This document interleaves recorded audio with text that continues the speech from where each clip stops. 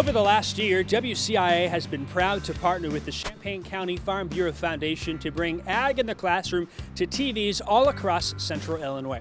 Ag in the Classroom is a great program that has been coming to schools like right here, Bottenfield Elementary School in Champaign. Today, we're heading inside to the third grade classroom to learn about a cool project Ag in the Classroom has started this year. We're here in the classroom at Bottenfield Elementary School. This is Mr. Ponder's class, and he has had one of these tower gardens here. Sarah, tell me what it's been like to have tower gardens in some of the schools here in Champaign County. Well, it's been great. Um, I'm just piloting the program this year, so I've had two towers in schools. I've had one at Yankee Ridge and one here at Bottenfield. So it's been a great experience. The teachers have been very, very willing to pilot new this new uh, thing and and try new plants and use the curriculum with their students and have a lot of fun with it. Many have not ever grown anything of their own or seen that seed become a, a, a, food product for them or their families. And so this has been a great experience for most kids to be able to see the seed to food process.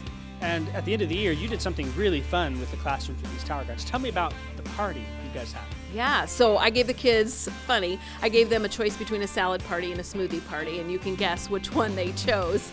So we just had a smoothie party and used fresh fruits and vegetables. We snuck some spinach into the smoothies and uh, just had an enjoyable time wrapping up this year with the garden towers. And now, uh, Mr. Ponder and other teachers who have, have used the, the towers can take home the plants that, that need to finish in the ground and they'll transplant those, or students can take them home as well. So it's kind of fun. This is not the end, even though this is the end of the school year.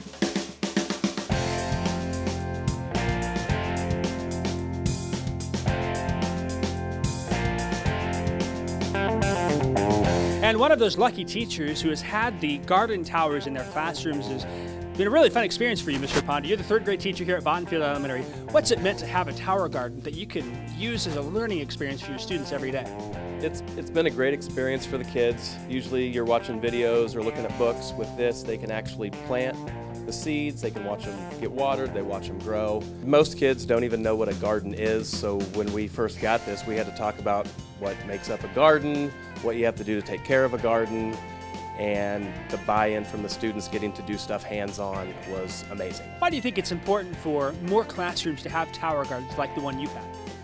It's a different experience. It's not a travel sport. It's not an electronic that they sit in their room on. It's something they can actually do the work. They can watch it grow. They can watch what it all becomes. And then you can see where it goes in the real world as far as food and grocery stores and different things like that.